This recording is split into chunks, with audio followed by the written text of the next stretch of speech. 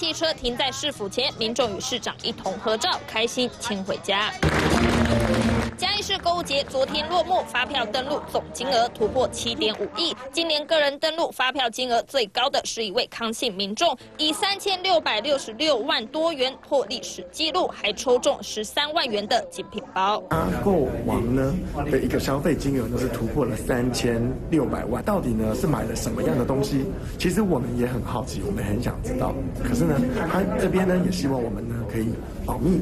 这位康姓民众消费金额已经是第二。次破纪录，前年就登录一千五百零二万获得第一，这次一百多张发票累计三千六百六十六万元，再度蝉联消费王。其中单笔金额超过三百万元，让民众纷纷猜测到底是买了什么。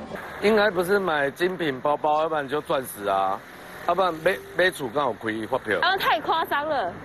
贫穷限制了我的想象。消费王买了什么？从事什么行业？完全没对是否透露。这次购物节大奖包含百万名车、钻石，都由嘉义人抽中。其中三千六百六十六万元的登录金额，消费力不容小觑。三立新闻廖国雄、陈渊嘉义报道。